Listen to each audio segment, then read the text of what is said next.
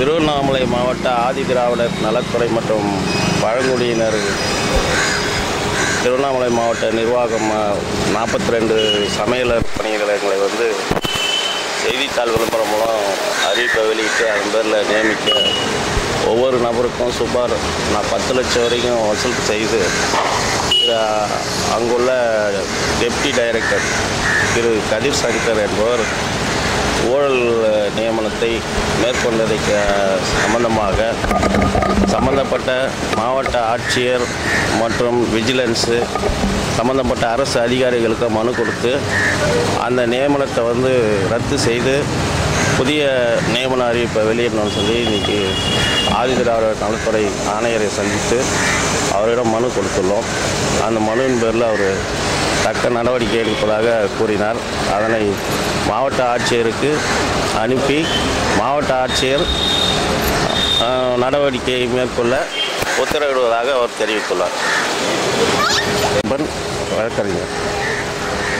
திருவண்ணாமலை மாவட்டத்தில் ஆதரவர் நலத்துறையில் சமையலர் ஹாஸ்டல் அதாவது ஆதிராவிட நலத்துறையில் ஹாஸ்டல் இயங்கும். அந்த ஹாஸ்டலில் வந்து காலி இடங்கள் சமையலர் காலி இடங்கள் நாற்பத்தி மூணு இடம் காலியாக இருக்குன்னு பேப்பர் நியூஸு வந்துச்சு.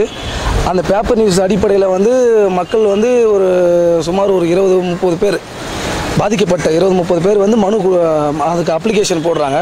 அந்த அப்ளிகேஷன் அடிப்படையில் வந்து எனக்கு ஒரு ஒரு ஒரு வே ஒரு வேலைக்கு சம்பளம் வந்து பாஞ்சாயிரம் ரூபாய் தான். ஆனால் இவங்க பத்து லட்ச ரூபாயிலேருந்து பாஞ்சு லட்ச ரூபாய் வரைக்கும் வந்து லஞ்சம் கேட்டாங்க. அந்த லஞ்சம் கேட்ட அதிகாரி வந்து கதிர் சங்கர்.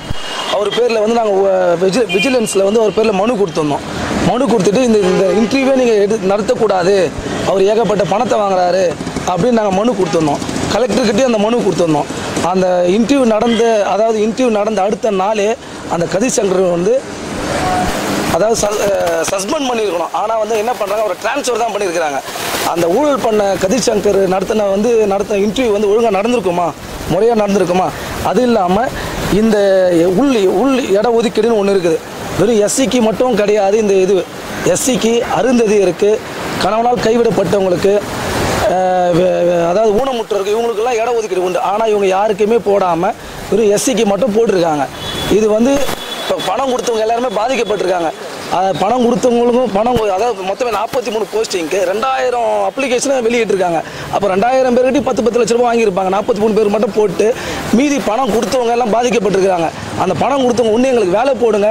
இல்லை நாங்கள் விஷம் குடிச்சு சாவறதா இல்லையான்ற நிலைமையில் இருக்கிறாங்க. அந்த ஜனங்கள்லாம் இவங்க தான்.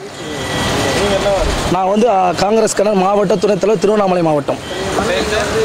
கண்ணன் காங்கிரஸ் கண்ணன். ஆமாம் தலைமை தலைமை அவர் அதாவது கமிஷனர் என்ன சொல்கிறாருன்னா நான் கலெக்டர்கிட்ட இதை ஃபார்வர்ட் பண்ணுறேன் இது சம்மந்தமாக நான் ஆக்ஷன் எடுக்கிறேன் அப்படின்னு சொல்லியிருக்கிறார். உத்தரவாதம் கொடுத்து அவர் செய்வாருன்ற ஒரு நம்பிக்கை எங்களுக்கு இருக்குது